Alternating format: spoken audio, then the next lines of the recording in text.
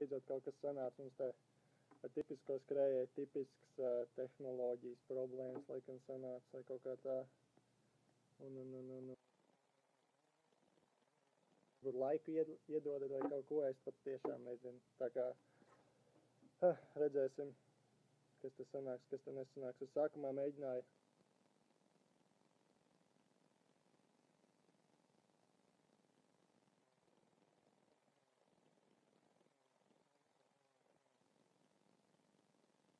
Uh, es studēju gada, un tipiskais skrējējs, un es, kas tad man mierīgi ņēma ņēm piemēru no uh, Valmieras zvaigznes, tā kā visu labi, saka, tā kā, kur es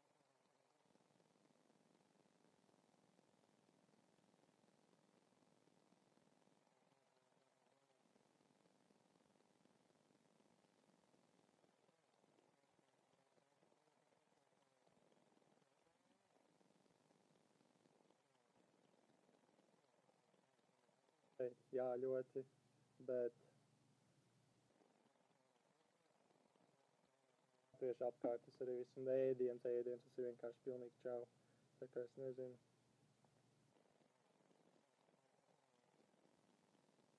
Valērija, mīļākais amerikāņu āls.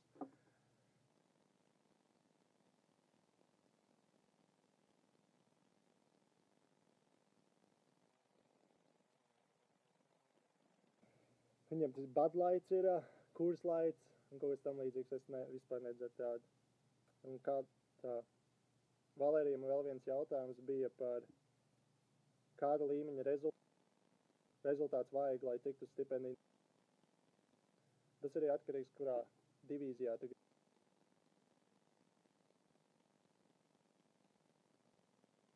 divīzijā nevar, tad ir tādā NAIA. Un tur arī bet viņš laikam beidzas jau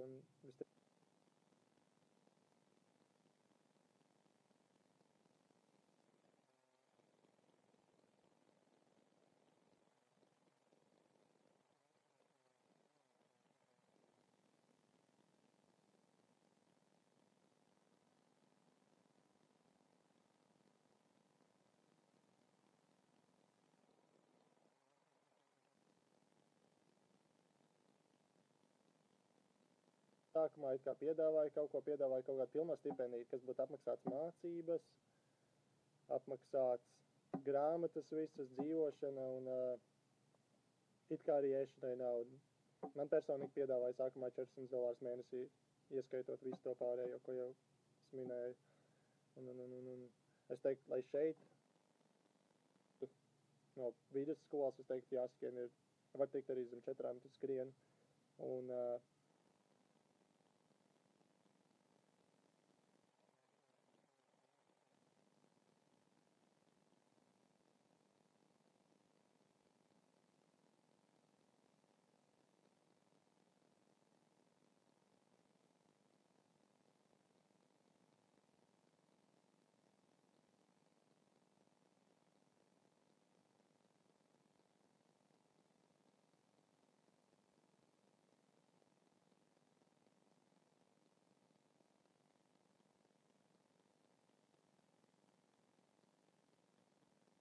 Viņš īstenībā aizbrauc mājās, viņš vairs šeit. Latviešu āls laikam. Es pats, kā jau teicu, alts dzērājs neesmu, bet un kas jau mītā sāls, tas ir to briedīt, vai kas tad ir, es nezinu, rītīgi normāli sašķikie. Nu, tas tā, uh,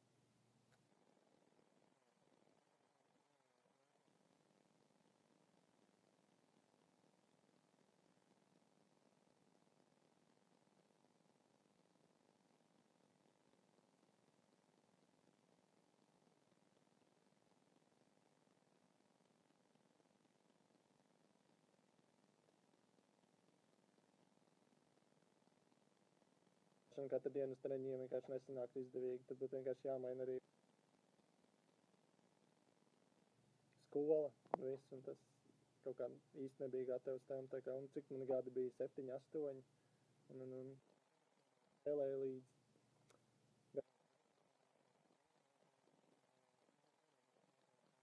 Hokeja nē, bet es kaut kāds mīksts muskulis.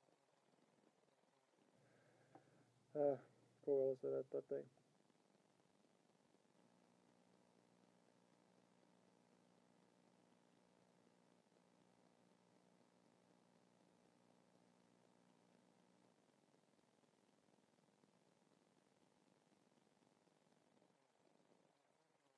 Ļoti grūti, ir grūti, jā. Jā, tu neko nevar nopelnīt, ja neesi augsts klases atlēts. Tā kā to es saprotu, bet patīk, patīk to, ko es daru.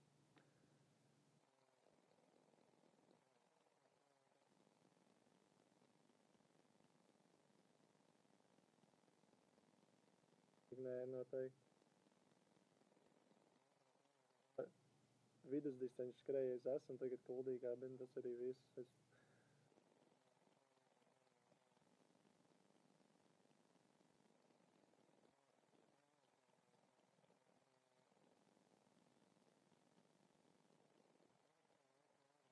vietlētiku kopumā ir dzirdēts, ka tur ir kaut kādas komandas konferences un komandas krosi.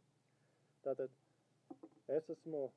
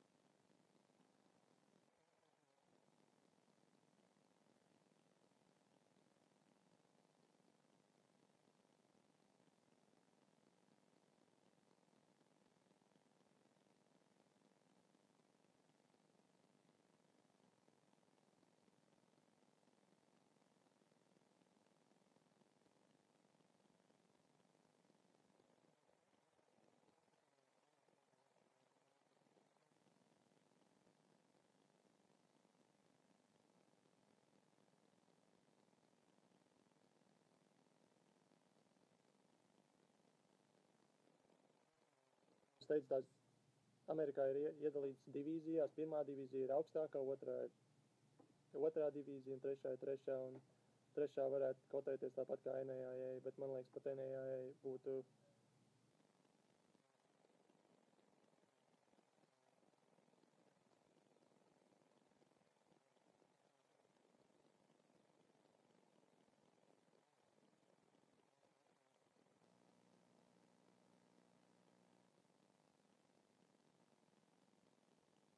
kaut kā cita, varbūt labāk zona būs. Stlīt. Atvainojos par šito.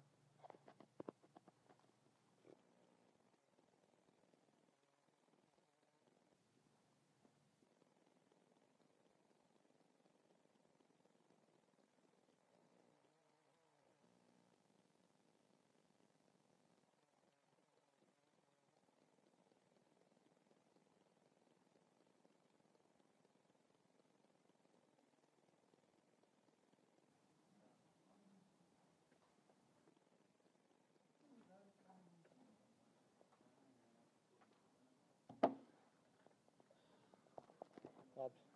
Atradu jaunu vietu. Varbūt dzirdēs labāk. Dzirdat tagad vai nedzirdat?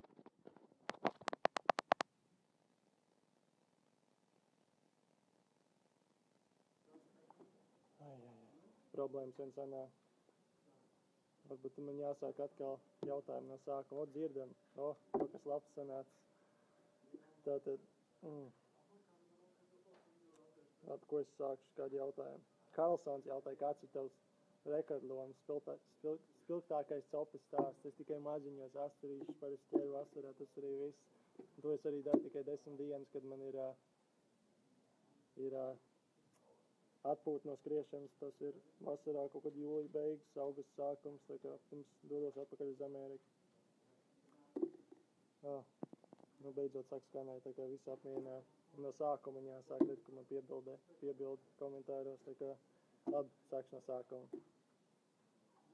Tātad Valērijas Vališņikovs prasīja, kāds ir mīļākais amerikāņu āls. Un es varu teikt, ka amerikāņiem ālis ir ļoti slikts.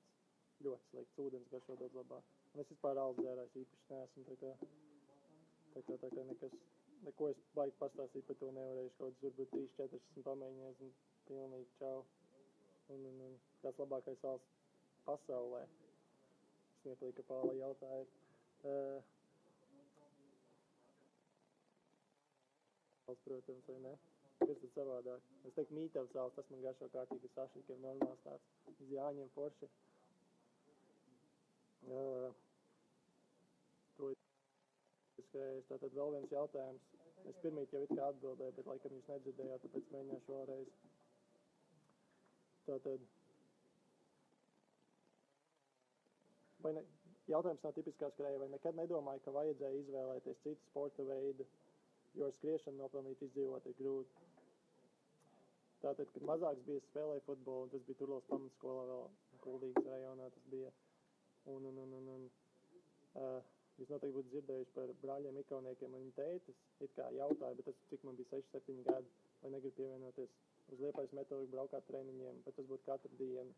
Tas būtu kaut kāds 70 km attālumā, tā kā nekādīgi nesanāk tas. Un tas man ļoti patīk. Es atceros, vēl sākumā bija dusmīgs, man gribējās tik ļoti skriet, skriet tad es vēl neskaitu, tikai prieka pēc paskraidīju.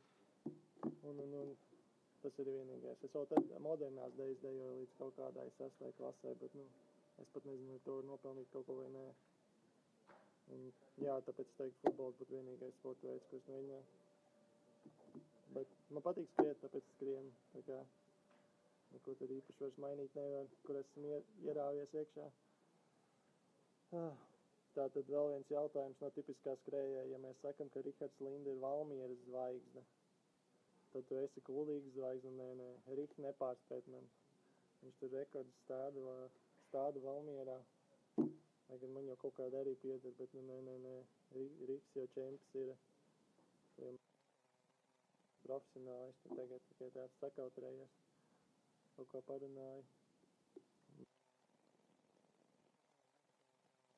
Tas bišķi izgāja ārā no grāmatām, kur vairāk būs zonas, varbūt, zin kā, pārāk daudz informācijas. Tur. Jā, tā.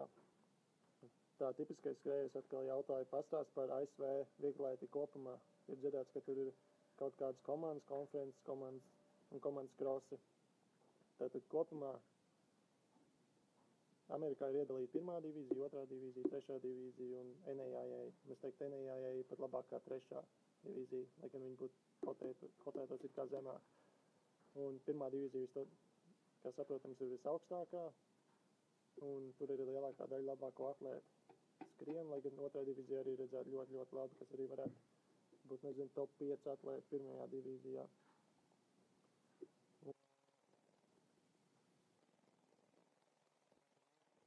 Komanda ir iedalīta Missouri Valley Conference.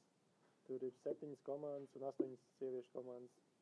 Uh, Mēs reāli viču tur viducī Kanzasā un reāli arī tā konferences sanāk tā apmēram apriņķī apkārt tās komandas. Tā kā blakus štata komandas sadalīts konferencē.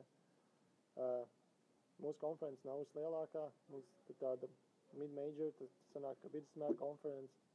Lai gan mums distances skriešanā tieši paliek labāk ar vien, tāpēc, ka mums ir Brelī university, un uh, viņai ir tikai distanču programma, tā kā Viņi piedāvā ļoti daudziem atlētiem pilnās stipendijas. Līdz ar to viņi dabū arī daudz startautiskos studentus. Viņiem ļoti daudz arī tagad uh, Lielbritānijas atlēti. Ļoti, ļoti labi. Tā kā konferences tā arī ir iedalīts. Kā, protams, visas komandas šeit Amerikā ir uh, tikai team points, team points, komandas punktā. Tad, piemēram, krosā arī tu, tu skrien it kā par sevi, bet tev ir uh, jāfinišē, lai tu dabūtu punkts uh, komandai piemēram, krosā pirmos piecus ņem vērtējumā un tos arī ieliks galva vērtējumā. Tas arī veidos tev rezultātu. Nevis, tev varbūt komandā džeks, kurš ir pirmais, otrais, trešais, ceturtais, un te pēdējais džeks ir kaut kāds, nezinu, pa beigu galvas ir savs kopā, tu varbūt nezinu, nevar uzvarēt ar to rezultātu. Tā kā kaut kas tāds, to es varu vismaz pastāstīt par konferencēm.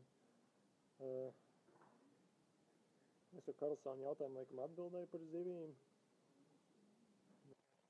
skatājs neesmu. Es redzēju, ka tev bilde baigā bija ar Brexīti zemledz makšķerēšanā, tā kā to man nepārspē. Uh, tipiskais skrējējs atkal jautāja par alkoholu. Vai, uh, sprinteru lēcēji vispārējie diezgan bieži, sevišķi cross sezonā, kad mums visiem skrējējiem ir jāskrien, viņiem nav, viņi viņi tikai treniņus taisa, conditioning training, un, un, un tad viņi, es domāju, noteikti. Es, es pats vienreiz gadā tikai pēc konferences, bet arī neko traki īpaši. Kaut kā, kaut kā tas laiks aizgājis, nezinu.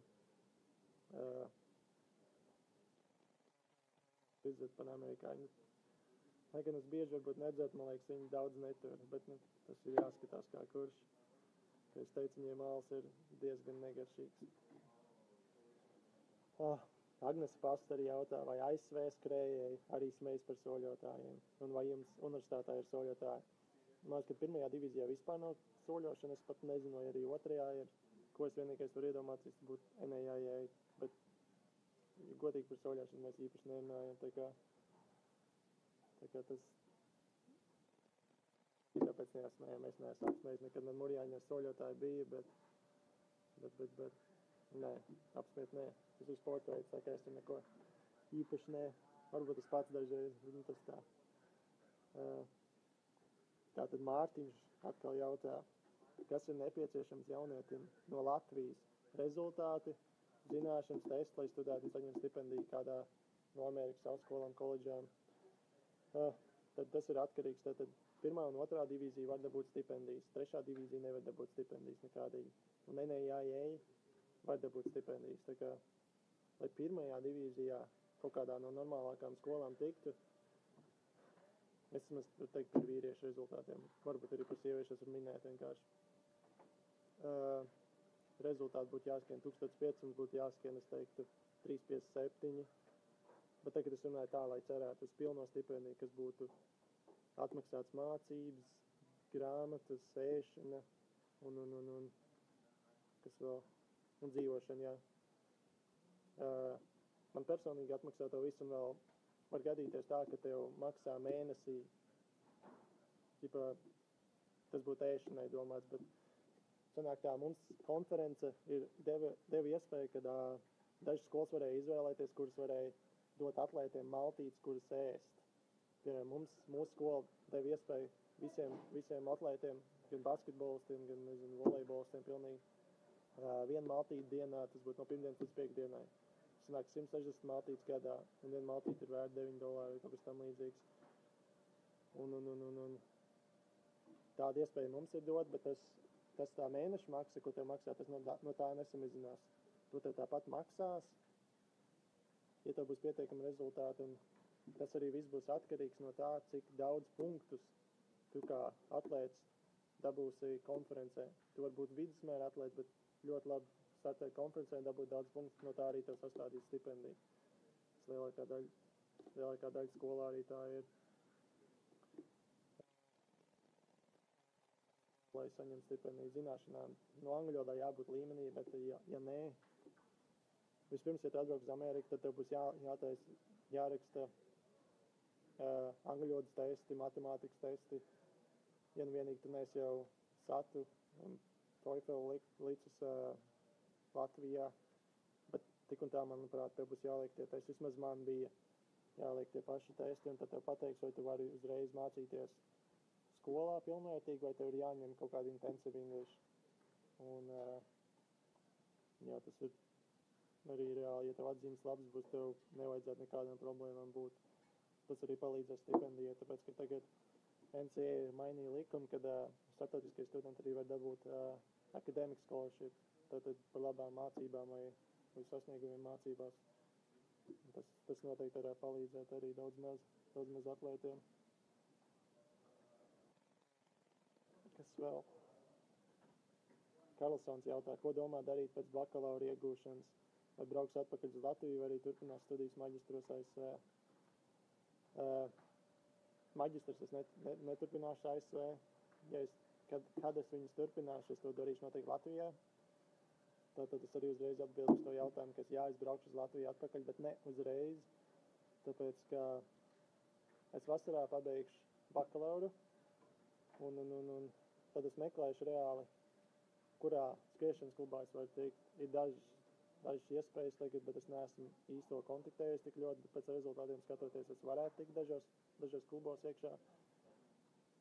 Un tie klubi arī atbalsta, tāpat kā man tagad stipendīt, viņi atbalsta dzīvošanu, ēšanu, treniņus un treniņu un arī lielākā daļai klubu ir arī sponsors, piemēram, kur es skatos, pagaidām ir ASICS sponsors, un uh, klubs atrodas North Carolina, tas sanāk labā pusē Amerikā, ja skatās kārtē kaut kur pie okeāna, tā teikt. Uh, tas arī atkarīgs viss, arī es tikšu klubā, tur, tad es gribu tiešām pamēģināt tā, ka pāris gadus, vismaz divus gadus tiešām tā kārtīgi trenēties, tikai neko citu nedomāt, bet uh, plāns B būtu assistant coach, tā kā treneru palīgs vai arī treneris uh, kādā no mazām skolām, tas būtu otrā divīzija vai trešā divīzija, un, un, un jo tur arī neprasa pieredzi nekā pirmā divīzijā, tev bez pieredzes reāli nekur netikt. Tā kā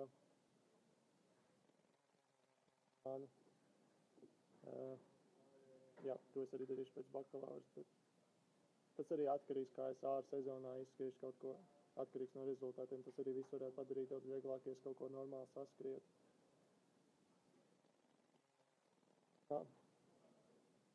Karlsons atkal jautā. Uh, agrāk, drīzāk pāris gadus atpakaļ, Mur Murjāņu vidus vidusdistancnieki bija vadošie Latvijā. Kāpēc tagad vairs nav tādu jauno talantu no Mūrjāņiem, kas izgriež visas pogas republikas mačos? Uh, nu man jau ritīgi paveicās ar treniņu biedriem. Es desmitajā klasē aizgāju uz Mūrjāņiem. Uh, es biju divplāksnes, lēns divplāksnes, tāpēc es neko baigi, baigi ne, nemācu vēl 800 un tādās distancēs, bet, bet paveicās. Man istabas biedrs bija Edgars Donis, centīgs džeks, ritīgi centīgs, bet viņš, viņš vairs neturpināja skriet pēc vidus. Man biedri abi, abi vidus distancnieki, viens 800 metru un Ivo Steinbergs īstenībā tagad arī lejā, ne? Un izrādās.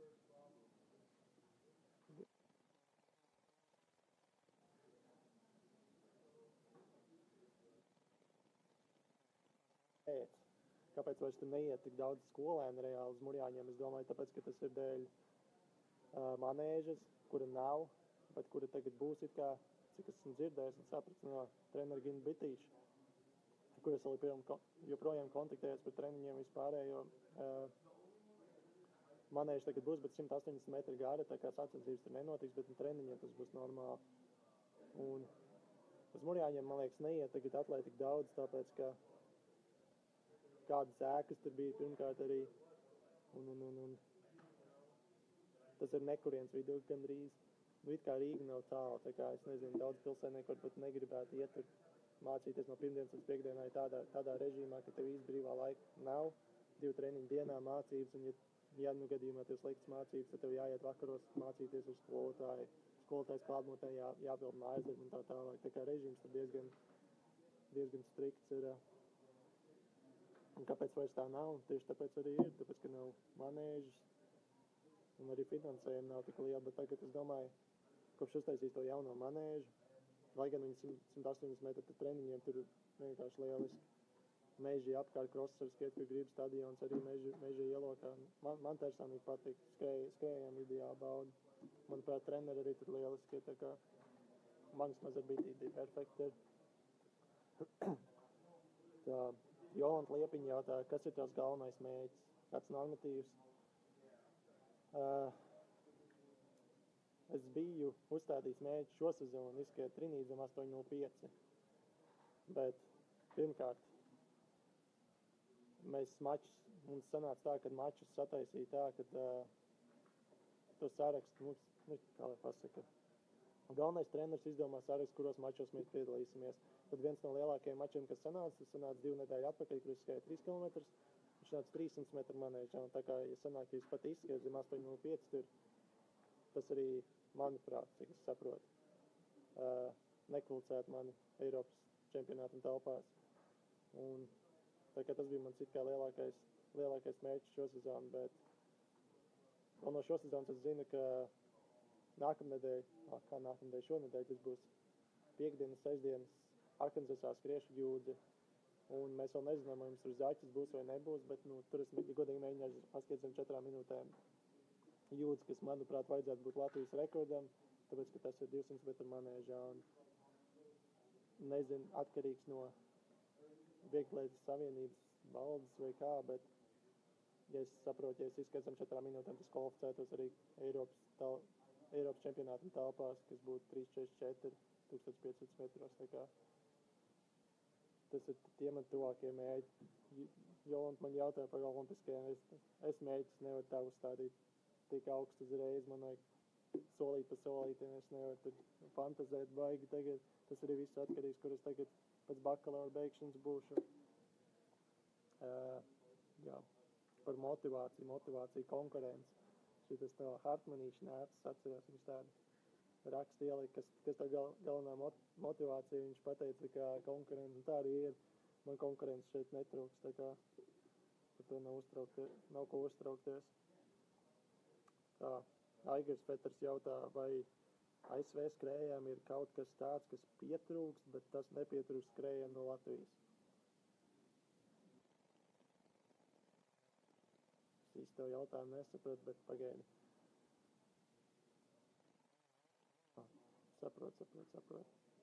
Uh, es nezinu, kā, kā citiem ir, bet uh, man komandas biedri ļoti bieži pārstrasojās par skriešanu. Vienkārši domā, 24, 7, viņam nekas cits nav kā skriešana, skriešana, skriešana.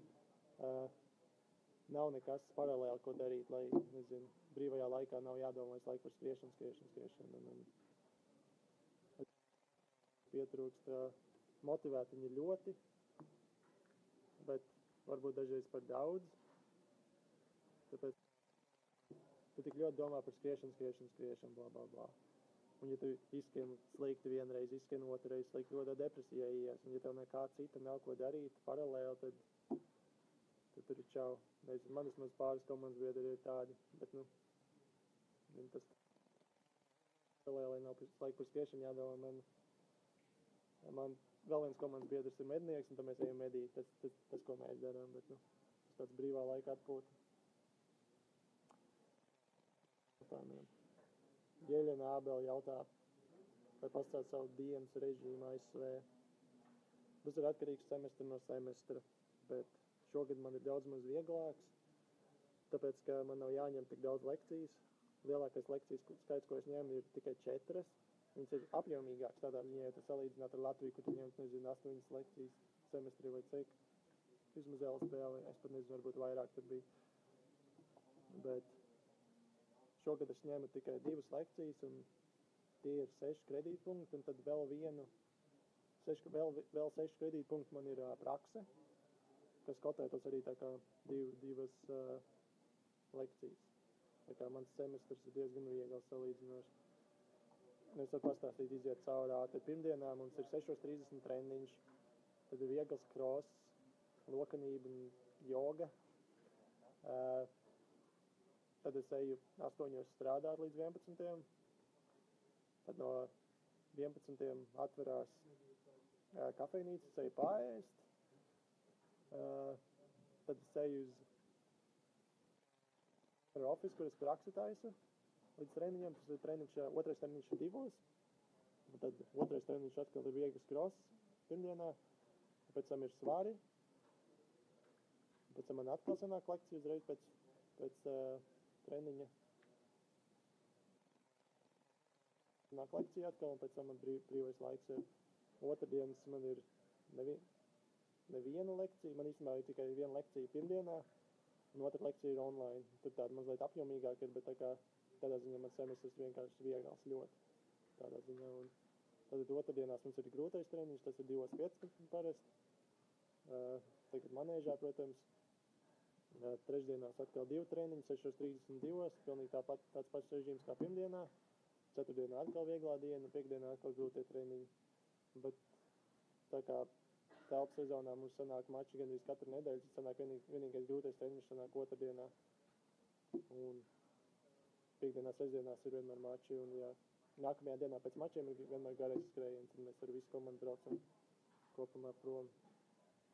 Režīms man diezgan, diezgan viegls ir šobrīd, manuprāt. Tas arī viss, ko es varu pastāstīt par to. Un Mārtiņš Karlsons jautā, cik vieglētiks manēžu vidē ir vienā Amerikas pilsētā. Uh, pat mazām skolām ir, ja godīgi, 300 metru manēžs, 200 metru manēžs ar virāžām, paceltajām tādām. Uh, es pat nevarētu saskaitīt. Bičetā varbūt nav tik daudz. Kanzasā es teiktu, ka ir. mm, ir viens štats, tas būtu kā. Kanzas štats ir gandrīz kā Latvija lielumā. Tā kā, tad nav tā populārākā vieglētika vēl. Es domāju, ka kādā Ņujorkā tur vispār manējuši pie manējuši ir. Nu, pa stadioniem vispār runājot arī šeit stadioni ir katrai pamatskolai. 400 metru stadioni, nevis 300 vai kaut kas tāds. Katrai pamatskolai, vidusskolai pilnīgi noteikti. Pamatskolai varbūt kādai nav, varbūt ir melno segumu, sarkano segumu, bet nu, lielākajai daļai ir tā kā, es nezinu, 5 km rādījusā, cik es zinu, no kampusiem esmu redzējis, ir 4, 5, 5 stadionus maz kaut kā tā, tā kā nekāda problēma nav tādā ziņā. Uh, tas vēl par jautājumiem. Vieļināba jautā, cik kilometrus mēnesī tu noskrien? Uh, cik treniņu nedēļā tev ir saldumi garšot, tu seko savam uzturam? Tā. Tagad sezonas laikā mēnesī es skrienu, tas būtu 320, 350 km. Tas atkarīgs vai svarīgāk maču vai nē. Tā kā es diezgan, diezgan zemu kilometrāžu skrienu. Manuprāt, zemu. Bet, kad biju, es šodien aizbraucu uz Ņu Meksiko uz uh, Augstkalnas nometni, un tur es skrēju pie 480 km, bet tur man sanāca treniņi no pirmdienas līdz sestdienai divu treniņu dienā un svētdienā viens treniņš. Un, bet tur, tur bija smagi, tur bija tiešām smagi treniņi. Pirmkārt, augstkalni, kalniņi un viss. Savāds kilometrāžs, bet tur es tikai biju 28 dienas, ja nemaldos, bet cross sezonā tas būtu jūlijas, augusts, septembris, oktobrs. Jūlijā parasti tikai sāku skriet, tad es savācu kaut kādus 200 km. Augustā tad es savācu pie 400, 150, tad pēc tam atkal 450 kaut kā tā, bet vairāk es neesmu vācis par to. Ja neskaitēju nometnē, kur savāc 480, ja nemaldos.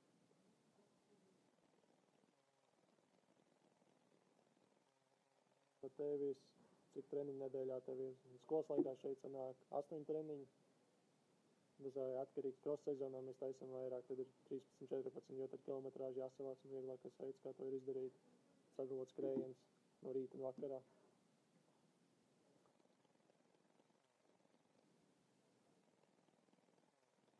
Jautājums, šis ļoti labs jautājums no Riharda Lindas. Vai tiešām vislabākajā formā jābūt martā un aprīlī vasaras sezonā ASV? Nu, vislabākais variants, ja būtu māja beigas un jūnija sākums, kad sanāk konferences čempionāti un NCAA pirmie rauni, bet ir tā, ka ir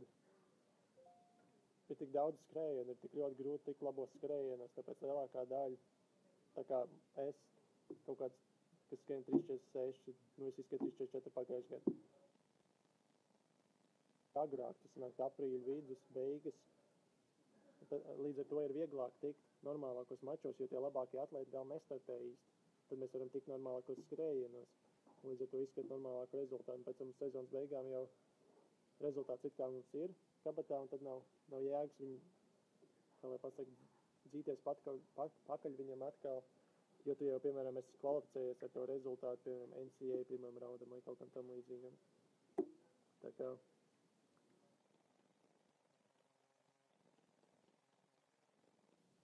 tur sezonā atbra- atbraucot Latviju, man vispār formas zaudēt, tā kā ilga sezona sanāk ASV, tā kā esmu priecīgs šeit, Amerikā.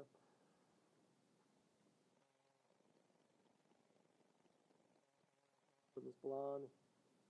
To jau es ir, it kā pateicu, tas atkarīgs, vai es tikšu kaut kādā skriešanas klubā vai nē. Ja caur tam visam. Ā, Rihards Līns, cik ātri tagad noskriet 400 metrus sacensībās aptuveni. Es teiktu, pa 50.00 izskriet. Uh, trīs nedēļas atpakaļ Tas bija pēc slimošanas, ja godīgi. Es izskrēju jūdzi 40, tad pēc kaut kādām 5 minūtēm mums bija 4400. Nu, splits man bija 5,6, bet uz tādām sāpīgākām kājām tā teikt, tā kā es domāju, pēc zem 50 nezinu, vai palīdz šaubos, tad ir jāpaņem kāds specifiskāk darbini, bet, bet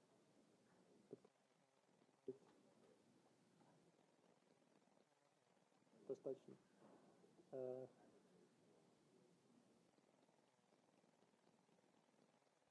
jautā ASV vispār kādos mačos 600 vai 1000 metrus vispār skrien. Uh, tas atkarī, atkarīgs no konferences. Citu konferencēs, konferences čempionātos ir patiesībā 600 metru sacensības un kilometri kā sacensības.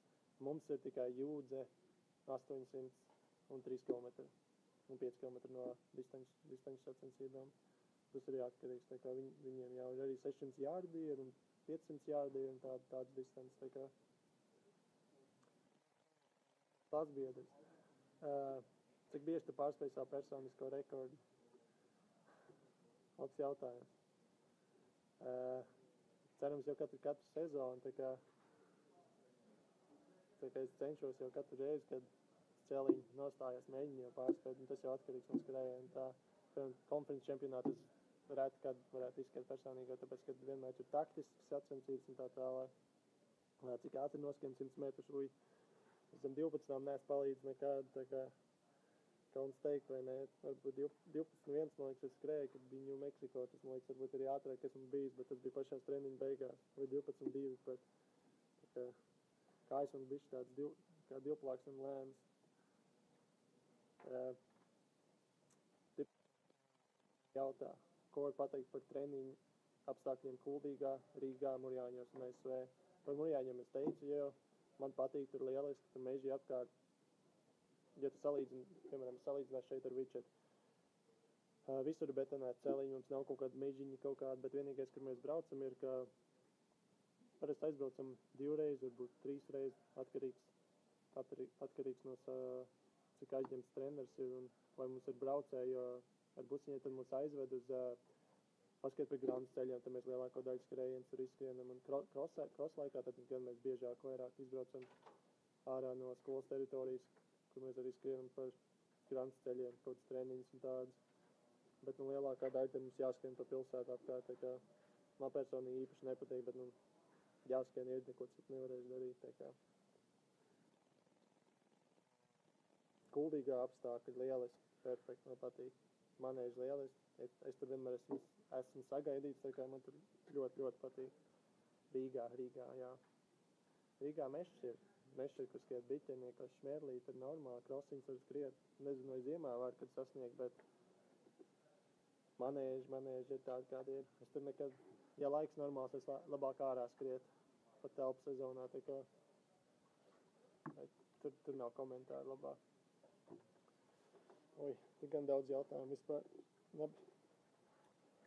Uh, nākamais jautājums. No tipiskā skrēja, vai tavu kursbiedri vispār zināja, kur atrodas Latvija? Lielākā daļa nezināja. Viņi arī man vārdu nevar uh, pateikt pareizi, bet nu es tur baigi. Viņi man par Ugī sauc, uh, bet lielākā daļa man sauc par Jūģīs. Uzvārds vispār Jocīs, es pat nezinu, kā viņi saukā, bet nu, es par to īpaši neiesprings. Uh, bet lielākā daļa nezināja, kur Latvija. Viņi zināja, ka tas ir Eiropā, bet nebija nejausmas, kur. Man ir jautāts, vai tas ir blakus Slovākijai vai kaut kur tur, vai pie Vācijas. Un kaut kā tam līdzīgi. Man pat vienreiz pajautāja, vai tā ir daļa no Krievijas. Tā kā tas gan nebija labi. Gan, tur, tur, tur, bišķi sanāca tā kā bija. Bet, nu, jā. Uh, es, vai ASV manēžu kā Rīgas sporta manēžā. Rīgas manēža nepārspēja 160 metru celiņš, ja nemaldos, vai 165 vai kaut kas tam līdzīgs, nu to nepārspēja. Tur rekords stādīt ir normāls. Vai jūs izmantojat treniņu stienu, ko darat trenižieru zālē? Tad trenižieru zālē pirmdien, trešdienas mums ir treniņi, bet, piemēram, pieņemsim, lai piekdien, sestdien svarīgi mači, tad es, piemēram, trešdienās neko kājām nedarīju treniņos, tad tikai presīts, munguriņu taisīt, tas arī viss. Varbūt kaut ko rokām vēl. Bet mums ir uh, atsevišķs treneris, kurš trenē basketbolu, volejbolu un uh, vidusdistanču skrējējus svaros. Nu, viņš arī sastāv mums treniņu, treniņu plānu. Un kad, tad, mums, tad mēs arī tiekamies visi vienā, vienā laikā svaru zālē, kur arī visi taisam treniņus kopā. Treniņu, svars treniņu kopā. Bet, nu, es teiktu, nekas nav ar lieliem svariem, ar maziem svariem, bet vairākiem atkārtojumiem vairāk uz kaut kādiem maziem muskuļiem strādājam. Nevis, mēs netaisam štangas vai kaut ko tam līdzīgu, neko tam līdzīgu neesam taisījuši. lietas, tā kā tas no, kaut kā no svara aspekta varētu nākt līdzi.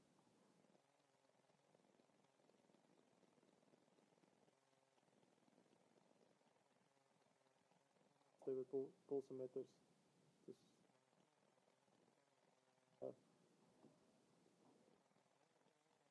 Tas pagājušajā gadā decembrī pa lēto dabūju, pirmo garmiņu dabūju, o, patīk ļoti. Pirms tam man bija Nike pulkstens, kurus nopirku no urtām, ja nemaldos. Tas, tas man plīs un plīs, dabūju mainīt, mainīt. Tas galīgi negāja man. Uh, esam līdzi. Īpaši nē, mūsu treneris tajā ziņā nav tas, kā lai pasaka. Es ne, nevarētu teikt labākais, bet viņš vienkārši pēc tā neskatās treniņos. Un sevišķi tāpēc, ka mums ir atlēti, kaut vai 30 atlēti komandā, ieskaitot sievietes un vīrietis, viņam jātrenē 30 atlētas un katram savs puls būs un ir treniņos, ka es katru savādā, savādākā pulsā viņam tad, viņš tur, man liekas, aizies ar galīgi tur čau paliks viņam. Bet tāpēc mēs neizmantojam pul pulsometru. Es pats skrienu garos krosu tikai ar pulsometru un uh, krosu sezonā gan es skrienu, gan arī katru treniņu ar pulsometru. Tikai interesanti paskatīties. Bet nebūs tā, ka es skriešu pēc specifiska pulsa vai kaut kādā tempā. Man īsti tikai garos krosu vienīgais jā, kas es skrienu pēc pulsa. Un, un, un. Es baigi neiesprings tam. Kad būs maratons, ultramaratons, visticamāk, Es neredzu sev pirmajos, tuvākajos piecos gados, kā Jēgmans skriet. Skriešanas pēc, tas, es nezinu, tas liekas mazliet naivi. Bet, nu, to noteikti nekad mūžā. Uh, maratonu tad vēl varētu padomāt tiešām, bet, nu, tur nē. Maratonam tad, tad man pavisam savādāk jātrenējas ir. Kaut kad pamēģināšu noteikti, kāpēc ne. Pusīts man patīk skriet pa, pa vidusskolas laikos, tā kā. Kas vēl par labiem jautājumiem. Tā. Kāds uzturbagātinātājs, vitamīns, piedevs uzturam lieto, uh, ko es tagad dzeru, man ir uh, multivitamīna uh, grindeks, kas tie bija gerimaks vai kaut kas tam līdzīgs, un cis recovery drinks. Un uh, tad man ir batoniņas cisa, kas šo tāpēc. Uh,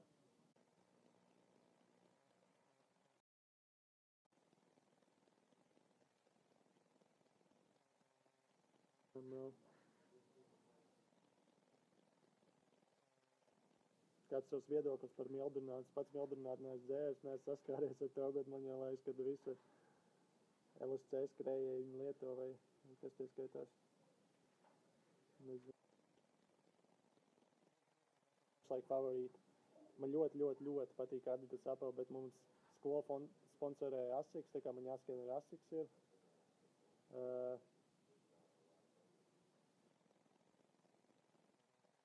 un tā ir multivitamīna grindeks mildrināts. Laikam mēs lietojam mildrināt tad vai ne?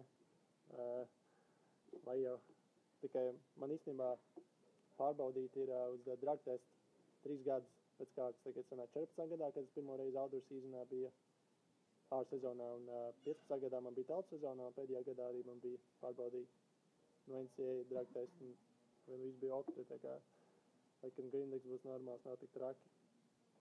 Uh,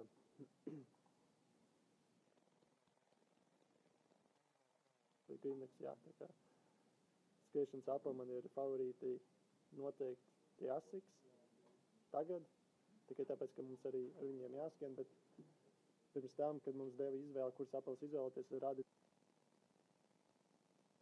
Man gan ir Adidas, to mums ļauj izvēlēties. Vienīgā, vienīgais, ko var izvēlēties, ir Naglens.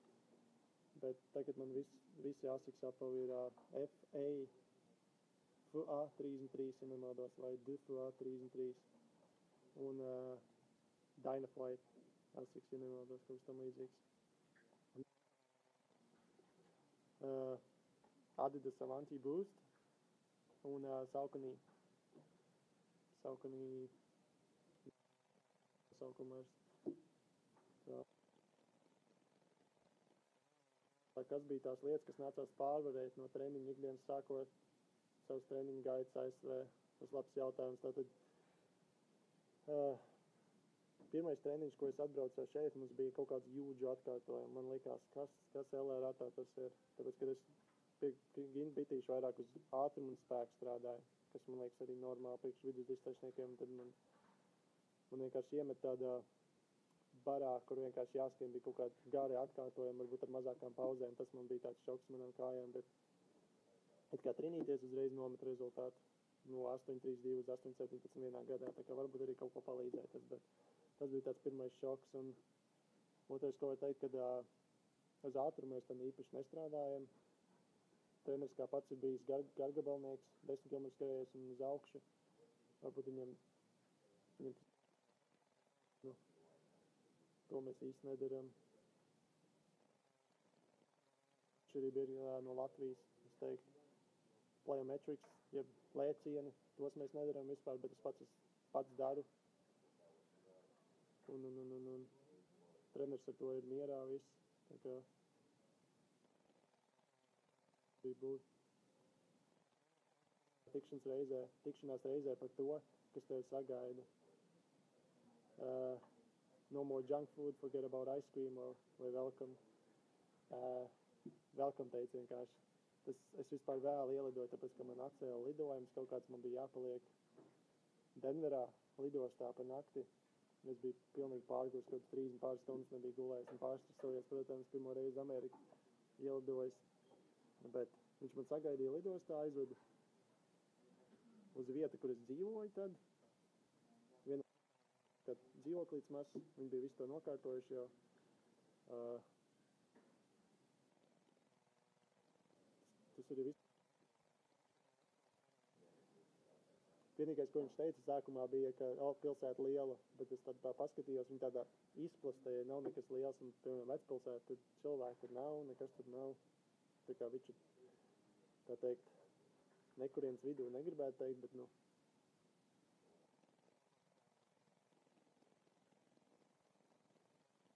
Pat par jautājumiem labiem.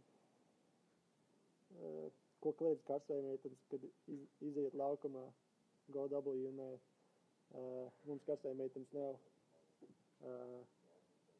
Tas ir tikai basketbola vai kaut kādiem komandas sporta veidiem. Kā mums neko tur tādu nekliedz. Kāda ēdiena pietrūks visvairāk pārceļoties? Gaļa. Tas ir pilnīgi noteikti gaļa, gaļa, gaļa.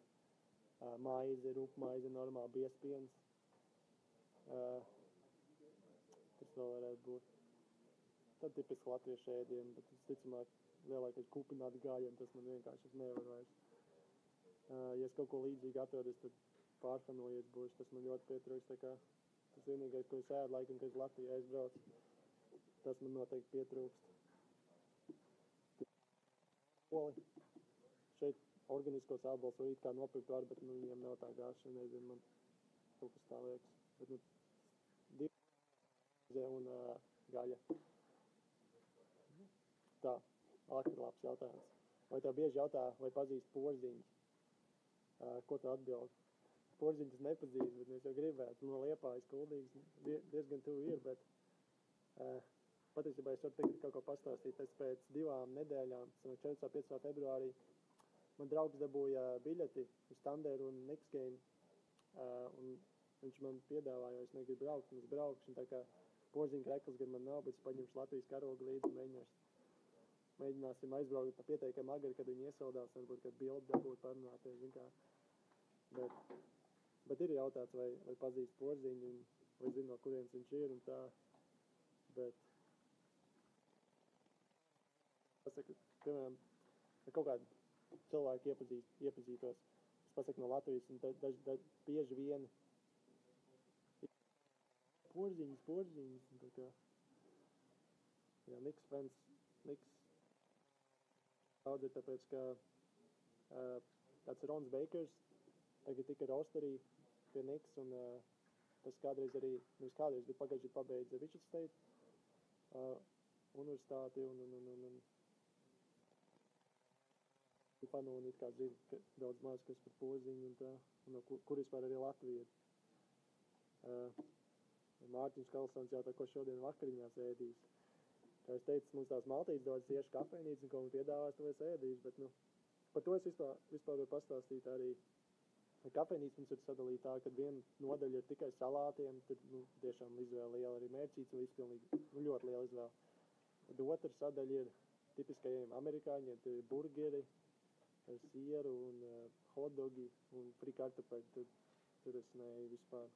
Bet uh, tad ir vēl viena sadaļa ar kaut kādiem, es pat teiktu vairāk, tuvāk Eiropas ēdienam, kaut kas tam līdzīgs, kad tradicionāli vistiņai, kaut kas tam līdzīgs. Un tad ir international food, tas būs vairāk uh, ķīniešu ēdiens, bet diezgan ass vienmēr.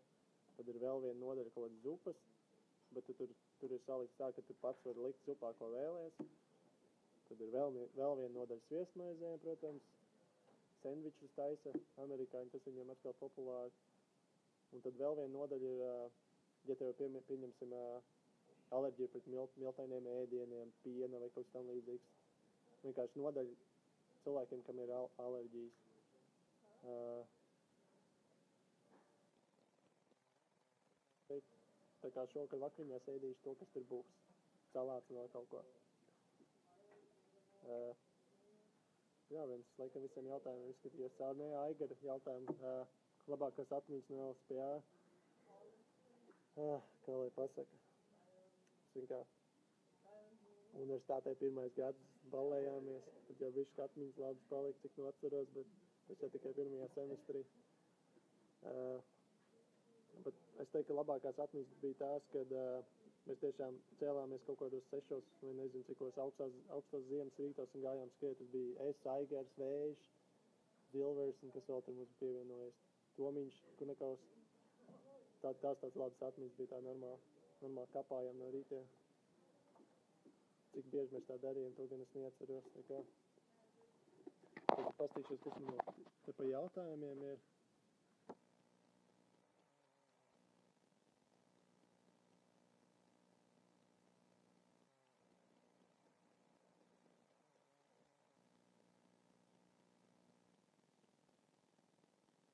Gatavojies. Mums nav tā, ka mēs varam tiešām gatavoties. Mums, kur liek skriet, tur skriesim arī. Sevišķi man, ja man ir stipendija, tad man arī jā, jādara to, ko komanda liek. Tā kā, bet reāli. Es tikko atbraucu no Mexico nometnes, un es saslimu, man bija temperatūra, un man tad bija treneris lika skriet divas distances, bija jūdz un uh, kilometrs. Un tad es tur izskrēju kaut 4,19. Un... Tā kā tas man bija bedrē iedzina pēc tam. Bet tagad svarīgākie mači, kam gatavojamies, ir vienmēr konference, tāpēc, ka vai tam līdzīgi, bet un tas arī skolai tie prestižākie mači ir, protams, NCA pēc tam, bet telpās NCA tev jābūt top 16 valstī, lai tu kvalificētos. Un tad tev jāskan jūdza, pieņemsim, 3,57, 8 mazā un trinīts kā 3, 8,55, kas tam līdzīgs. Uh, Santa vēl teica, zināms, ka ASV ir daudz sacensības un visās nevar būt labākajā formā, vai startē visās un nekoncentrējies uz vienām. Dažām sacensībām es vienkārši trenējos cauri. Es iz, nu, man jāskrien tur ir tāpat, tāpēc es vienkārši trenējos cauri. Varbūt kilometrāžu, nevis varbūt, bet noteikti kilometrāžu nenometu tā. Uh, bet koncentrējās konferences un daudz maz vienreiz, gad, vienreiz sezonā, tas nevis gadā, vienreiz telpu sezonā un varbūt vienreiz vai divreiz ārsezonā. Tur lielos mačos parasti tiek un tur mēģina tiešām personīgo izskiet kopā ar grupiņu. Tā. Klubu viņi arī kaut ko maksātu un nodrošina uzturēšanos Amerikā. Tā klubs, ko es skatos, ir, uh, viņš saucās ASICS Furman Elite. Uh, dzīvošanu. Jo tas klubs atrodas pie universitātes, kurai ir ļoti laba distance, distance programma arī. Un no ASICS 500 dolāru, dolāru sanāk tā, ka ASICS dod tev 500 dolārus, un par tiem 500 dolāriem katru mēnesi tu vari iegādāties no ASICS, ja ko, ko vēlēs no oficiālās ASICS lapas, un tad vēl mēnesī maksā 900 dolārus. Katru mēnesi, jā, tas tev ēšanai vai kam, kam tev vajadzīgs vai dzīv, dzīvošanai vai nezinu.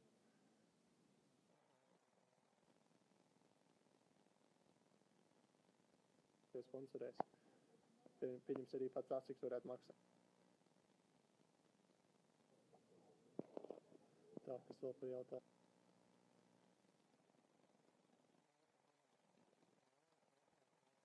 Bija ātrāks krosā par Latvijas elites orientieristiem. Es nezinu, tas ir labs jautājums, tāpēc, Amerikā tur ir tā, ka kā kur cross distance. Uh, es teiktu, ka labākie orientieristi noteikti skriet ātrāk par mani noteikti, jā. Es izskrēju krosā 24, 16, 8 km tas bija, bet es teiktu, ka tā distance bija, bišķi sanāca, godīgi, vairāk par 8 km, bet, nu, precīzi nekad krosā nedabūs. Bet bija daudz kalniņu, tā kā es tur neko neuzskatu baigi grūto, bet tad pēdējā mačā mums sanāca Regionals Cross Country. Tas bija desmitnieks jāskrien, tur, tur, tur bija nu, īsti cross trāsa, tiešām kalni tādi uz augšu, uz leju. Un to es teiktu, ka normāli izskrien, bet nu nē, labākie orientēri.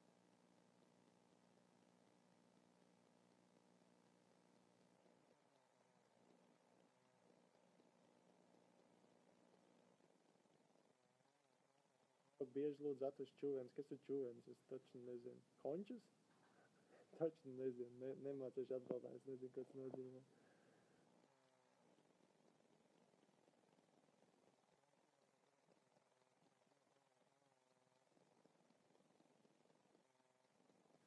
Tas bija tad, kad trenējāmies LSPA no rītiem. Laikam mums apnika, bet nu, bija normāli. Kad vajadzēja, tad skrējām divas nedēļas. Kaut, kaut kādus kilometrus savācām.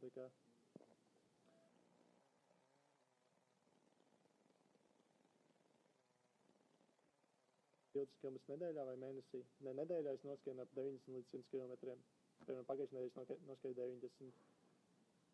Kur 70 km, ja nemaldos tajā nedēļā. Bet tas ir tagad vidēji. Un, tā kā dzīvām. Gum- Košļājamās gumijas. Nē, ne.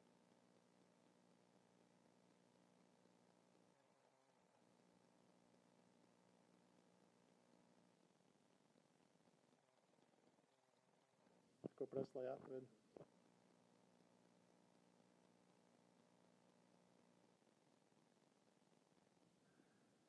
Es teiktu, kas noteikti brauktu. Pirmkārt, tāpēc, ka nav jāstraucās par finansēm. Uh, iespēja pilnveidot arī angļu valodu. Man vismaz tā bija. Uh, jo es sākumā ņēmu, man bija jāņem uh, part-time intensive English. Sanāca, ka vienreiz dienā bija jāiet uz angļu valodas klasēm, bet man sanāca tā, ka man bija jāiet kopā ar daudziem starptautiskiem studentiem, bet tie starptautiskie studenti bija visi no vienas valsts. Piemēram, no Saudārābijas mums ir ļoti daudz studentu. Viņi runāja, protams, savā valodā, es tur pilnīgi neko neiemācījos. Godvārds neko neiemācījos, es vairāk iemācījos esot tā.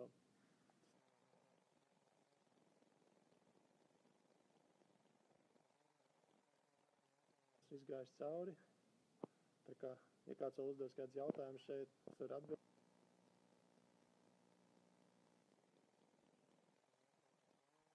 Es plānu tos es laikam pastāstīju.